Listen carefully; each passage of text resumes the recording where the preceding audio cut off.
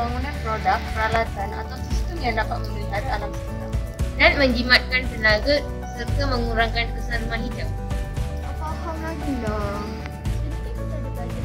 sistem aquaponik dan sistem hidroponik masuk tingkatan 2, teknologi hijau lah tu.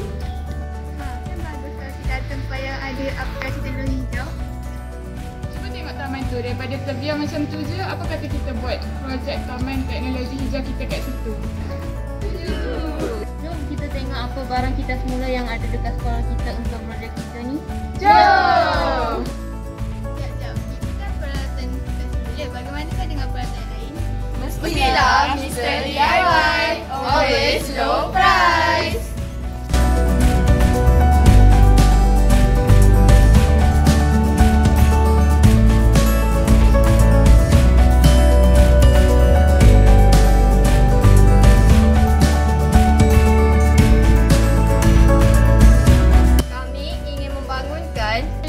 Hijau BK